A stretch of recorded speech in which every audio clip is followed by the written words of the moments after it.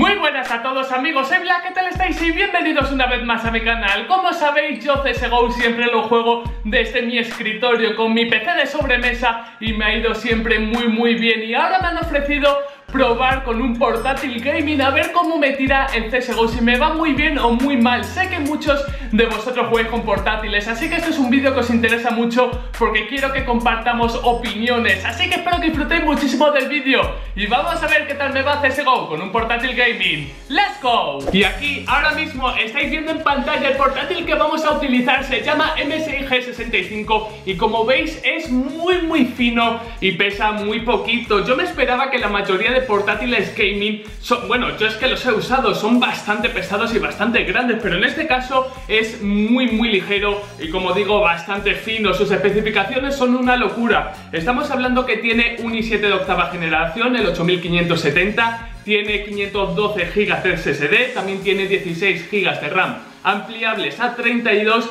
y por último tiene una gráfica que es la 1070 GTX así que el ordenador está bien provisto desde luego. Quiero abrirlo porque hay dos cosas que me sorprenden. La primera es que la pantalla, gracias a Dios, este 144 Hz, os hablé la semana pasada de la importancia de tener una pantalla de 144 Hz, así que esto me ha encantado. Y también el teclado, que es un teclado RGB, que este SteelSeries MSI colabora con SteelSeries y eso me parece eh, magnífico, ¿no? Porque eh, las grandes marcas son las que saben acerca de, pues eso, teclados, ratones y me encanta este tipo de colaboraciones. Así que, como digo, este es el eh, portátil que voy a utilizar para hacer este vídeo. Quiero que me digáis qué portátil tenéis vosotros, ¿vale? Decírmelo en los comentarios y vamos a ver qué tal nos va el CSGO. Como veis, chicos, ya estoy testeando este portátil gaming de MSI. ¿Habéis visto este tag que tengo montado? De hecho, tengo aquí el ratón de la hiperbestia. Vamos a darle caña. He estado ya jugando una partida de Deathmatch, ¿vale? Solo voy a jugar partidas de Deathmatch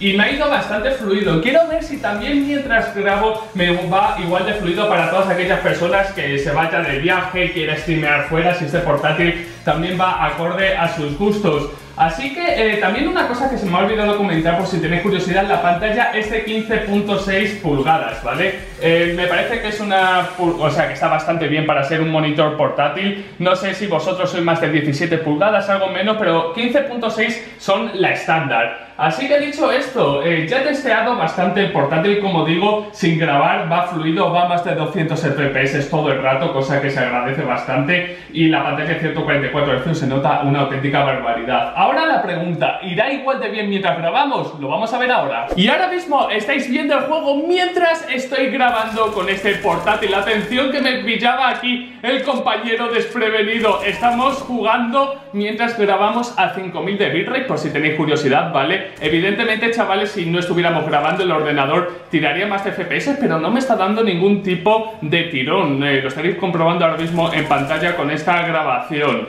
¿Por qué he decidido hacer este vídeo? Como sabéis, este verano he estado yendo a eventos... Uy, uy, uy, uy, a ver si me va a matar. Este, no, lo conseguimos matar. Como iba diciendo, este verano he ido a un montonazo de eventos, sobre todo a LAN Party, ¿vale? Como sabéis, son eventos, atención el transfer, maravilloso. Eh, son eventos donde la gente lleva sus ordenadores y se ponen a jugar durante 2, 3, 4, 5 días seguidos. Es una auténtica locura. Pues he conocido a muchos de vosotros en este tipo de eventos y la gran mayoría llevaba un portátil y yo decía, pero ¿por qué lleváis un portátil a este tipo de eventos? Y me decían, a mí el Counter-Strike me va fluido, atención, uff, ya no puedo con ya no puedo con. Pues eso, me decían, a mí el Counter-Strike Black me va fluido y no necesito traer mi torre. Evidentemente, chavales, una torre siempre va a tirar más que un portátil. Pero yo les veía jugar y veía que iba bastante fluido. Eh, yo tengo portátiles, de hecho habéis visto varias veces que he subido vídeos de CSGO grabando con el portátil, pero no me iba tan tan fluido. Por eso he decidido probar un portátil gaming. De hecho, ¿por qué me ha sorprendido que sea tan fino? Eh, cuando he estado, bueno, pues eso, ¿no? Jugando con vuestros portátiles, la gran mayoría de vosotros, tío, Black, vaya vacío, estoy grabando Juggernaut, lo estamos viendo ahí en comentarios, estoy grabando y evidentemente no puedo hablar con él.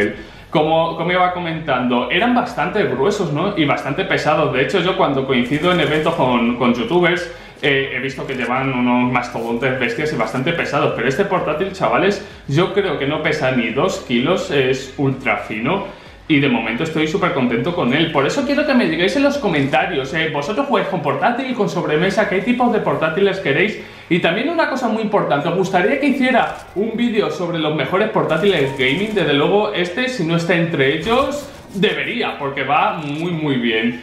Y yo creo que poquito más, eh, la experiencia ha sido bastante buena. Yo me esperaba que fuera peor que, que mi ordenador de sobremesa, que notara algo de diferencia. No he notado, más allá que evidentemente los FPS que me van ahí a unos 300 estables y aquí me van a más de... Bueno, me van en torno a 200, como digo, inapreciable para el ojo humano, pero por si sois quisquillosos, ¿no? Con el tema de FPS. Así que aquí va a acabar el vídeo de hoy con esta penosidad que acabo de hacer.